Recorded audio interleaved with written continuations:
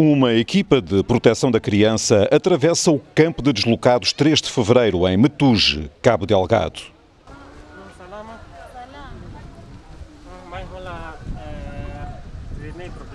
Essas visitas, normalmente eu tenho tido 3 a 6 visitas por dia.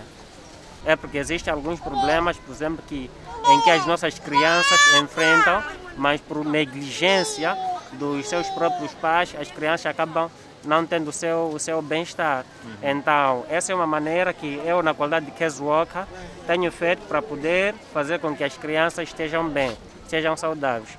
É porque existem aquelas mães, por exemplo, que negligenciam as crianças em levar para as escolas, é, negligenciar, negligenciam as crianças em levar para o posto de saúde, que é para poder ver ela bem de saúde, por exemplo. Jovens e crianças são metade dos 250 mil deslocados da guerra no norte de Moçambique. E como em todas as guerras, as crianças estão entre os que mais sofrem.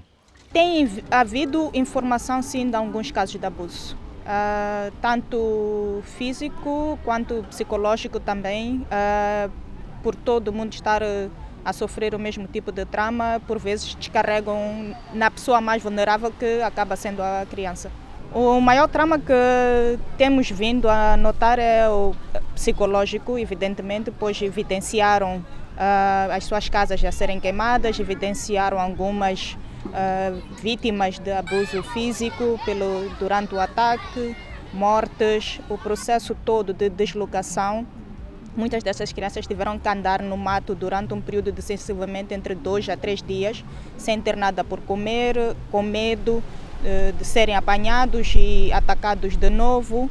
Tiveram que ver os seus pais também a terem o seu próprio trauma e medo e tentar arranjar a forma de lhes manter seguros. Unicef e a ONG Save the Children alertam: o acompanhamento aos mais novos é urgente. Até que os conflitos, era fugir por conflitos né? Eh, das Forças Armadas.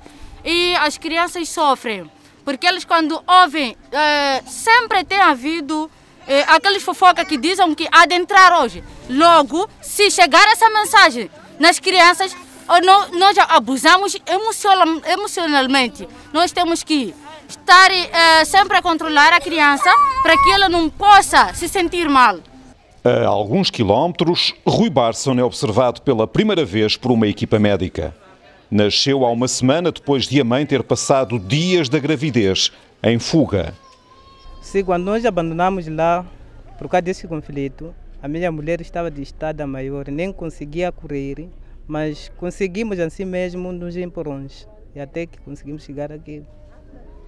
Saímos de pé, longa distância, quase a 200 quilômetros andar a pé. Depois conseguimos carro e chegamos via Nairobi para Monte Peixe. Via Monte Peixe e para aqui. Tiveram que passar dias escondidos no mato? Claro, sim. Quanto tempo? Ficamos aí três dias no mato. One year, more than one year after Cyclone Kenneth, we are back here now in Cabo Delgado, and unfortunately, we must say that the humanitarian situation is even worse than before.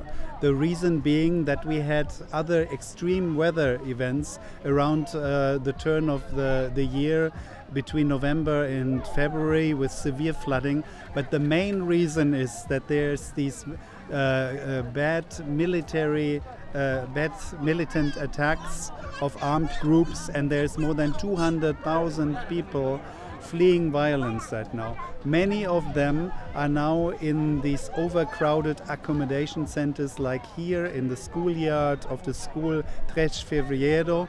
And uh, of course, these people have a lot of needs. As necessidades de quem já enfrentou um ciclone, guerra e a Covid-19, três desgraças em pouco menos de um ano em Cabo Delgado.